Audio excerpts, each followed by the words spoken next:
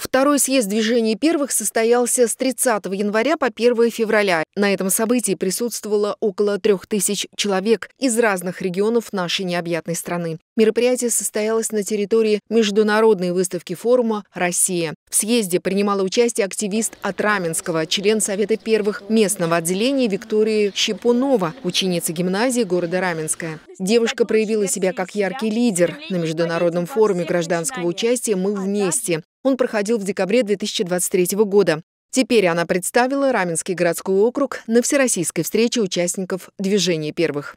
Как я вообще попала в движение первых? Это случилось очень спонтанно. Я изначально была в российском движении детей, э, российском э, движении школьников РДШ.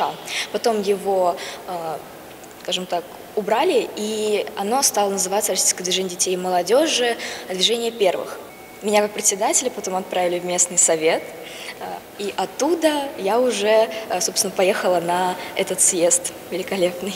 По словам Вики, программа съезда была насыщенной. Мотивационные встречи, мастер-классы, интерактивные площадки, важные встречи с первыми лицами страны и известными людьми. Основными задачами съезда было определить приоритетные направления развития движений первых, сформировать Федеральный совет молодежной организации и выразить благодарность участникам за вклад в развитие движения. Мы одна большая команда, которая вершит великие дела у нас есть несколько направлений, по которым мы работаем. Это экология, это медиа направление.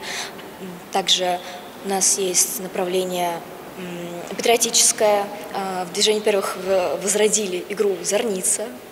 Вот. Также есть направление туризм и путешествия и очень много интересных направлений. Движение первых дает много возможностей, проекты, фестивали, слеты. Во всем этом и не только дети и молодежь могут принять участие, получить незабываемый опыт, много полезной информации и показать себя.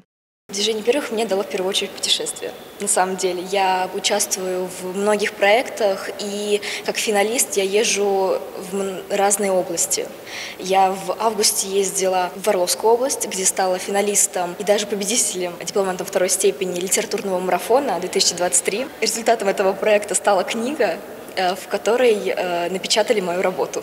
Как добиться успеха? Комикс, который придумала и нарисовала Вика. Он попал в сборник произведений победителей всероссийского проекта «Литературный марафон-2023». Как признается сама девушка, добиться успеха можно, когда ты не боишься пробовать новое. Сейчас Вика учится в 11 классе, поступать намерена в педагогический университет. Браслетик у нас из павильона движения первых. Мы, когда заходили, нам их выдавали, и на нем есть э, записанная моя мечта это стать самым лучшим педагогом в России. Вот. И я вот смотрю на этот браслетик, и я понимаю, что у меня есть все возможности, чтобы добиться своей цели. Даже после окончания гимназии девушка планирует остаться в составе местного совета движений первых в качестве наставника для младших товарищей. Екатерина Морозова, Сергей Григорьев, Андрей Минкин. Раменское телевидение.